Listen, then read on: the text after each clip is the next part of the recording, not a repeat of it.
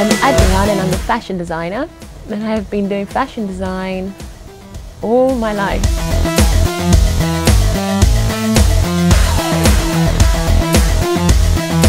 What got me into fashion design was the artistic side to fashion. I like art, so I've been I've been studying art. I did. I studied art in throughout my um, studies, and I picked up on fashion through that, and I developed into fashion through textiles.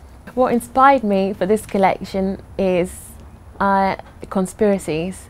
I enjoy reading on things. I like I like my knowledge, and I like fantasy art.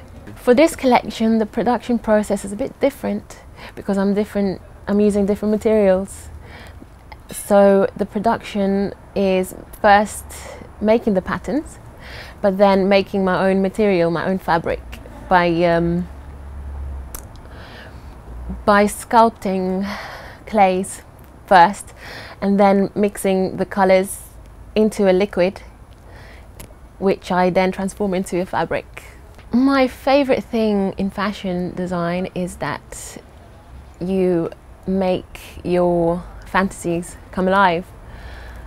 For more information about me and my work, you can search Raw Artists Adriana D'Alesandro.